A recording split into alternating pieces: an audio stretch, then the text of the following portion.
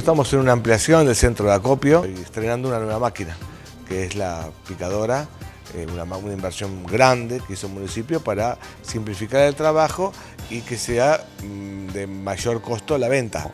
Esta máquina reduce el plástico, la silla, eh, los bidones y todo lo que es plástico voluminoso en una proporción de 7 a 1, 7 bolsones de este tipo de plástico a granel hacen uno de plástico molido. Así que nosotros nos reduce en cantidad de camiones, en el peso, en la logística y todo lo más. Tiene muchísimos beneficios y con esta máquina podemos moler todo tipo de plástico. Podemos moler el PET, que también ya tenemos otra máquina, y ocupar mano de obra.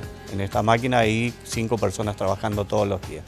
Desde el centro de acopio estamos comprando los fardos ya empaquetados de todas las bolsas que se juntan en el distrito, que son plásticos en desuso, eh, bolsas, eh, packaging, fill street, que, bueno, que la gente de reciclado selecciona y enfardan posteriormente para que lo podamos trasladar. Y que estamos trabajando junto a la recicladora eh, ya estamos cumpliendo el mes 14. Antiguamente no tenían destinos las, bolsas plásticas, iba todo a, descarte, al SEAMSE se trasladaban. Entonces, bueno, nos pusimos en contacto, analizamos eh, la posibilidad de poder trabajar y, de hacer esto, obviamente, algo sustentable. Nosotros compramos eh, todo el scrap plástico que recolecta Vera Recicla.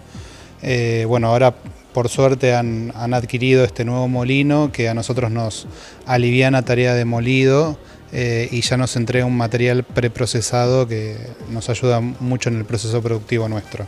Hace un año que estamos trabajando con ellos y sinceramente el aporte eh, es, digamos, que Verazategui sea más limpia, eh, que todos esos residuos se les puede dar, digamos, un cierre de ciclo y transformar en un nuevo material como hacemos nosotros y que toda la sociedad aporte, ¿no?